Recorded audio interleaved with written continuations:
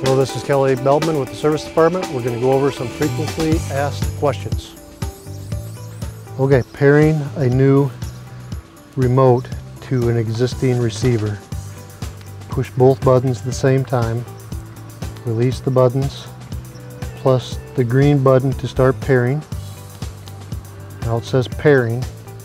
I'll hold a magnet up to the O up there. So we're going to use the magnetic floodlight.